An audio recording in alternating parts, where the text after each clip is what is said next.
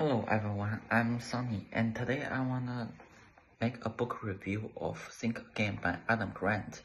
And this book is a thought-provoking and insightful book that challenges readers to reevaluate their beliefs and assumptions. Grant, a renowned organizational psychologist and professor at the Wharton School, argues that in today's rapidly changing world, it's essential to adopt a mindset of continuous learning and growth. One of the key takeaways from the book is the importance of being open to changing our minds. Grant emphasizes that being willing to uh, reconsider our opinions and beliefs can lead to uh, better decision making and personal growth. He provides numerous examples of individuals and organizations that have benefited from embracing a more flexible and open-minded approach. Another key thing is think again is the concept of intellectual humility. Grant argues that acknowledging our own limitations and being open to feedback and new information is crucial for personal and professional success. He encourages readers to cultivate, to cultivate a mindset of courage and a willingness to engage in constructive dialogue with others. Overall, think again as a compelling and engaging reader read that challenges readers to rethink their assumptions and approach life with a more open and flexible mindset. Grant's insights and practical advice make this book a valuable resource for anyone looking to navigate the complexities of the modern world with greater clarity and resilience. The importance of this topic is in the fast-paced and uh, ever-changing world of an organization behavior, the ability to think critically and adapt to new information is critical to success. Adam Grant's rethink uh, into the importance of being open-minded, intellectually humble, and constantly challenging our assumptions. For students of organizational behavior, this book provides valuable insights that can help navigate complex workplace dynamics and foster a culture of innovation and growth. The three most important ideas. Firstly is embracing cognitive flexibility. Grants uh, uh, stresses the importance of being willing to reconsider our beliefs and our opinions in light of new evidence.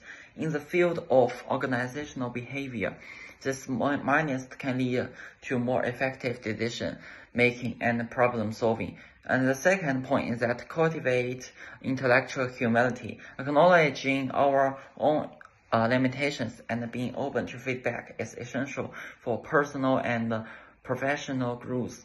By fostering a culture of intellectual humility within the organization, students can create a more inclusive and collaborative work environment. And the third point is that engage in constructive dialogue.